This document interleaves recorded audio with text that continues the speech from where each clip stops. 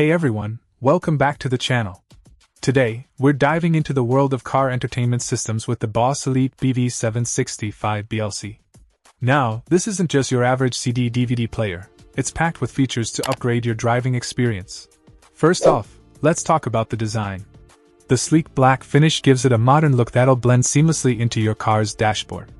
And at 6.5 inches, the LCD touchscreen is the perfect size for easy navigation without being too distracting on the road.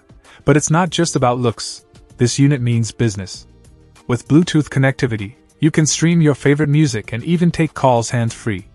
Plus, the included rearview backup camera adds an extra layer of safety when maneuvering in tight spots. Installation was a breeze thanks to the 2-DIN design, and with SD media compatibility, you've got plenty of options for your entertainment needs.